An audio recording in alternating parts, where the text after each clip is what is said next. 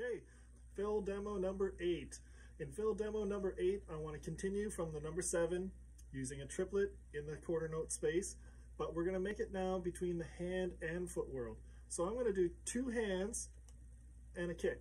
Now for now, I'm just going to use right, right to keep it simple. It's going to be right, right, kick as the fill. So it's...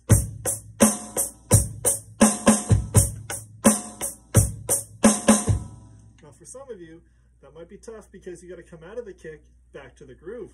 So that might be the tricky part.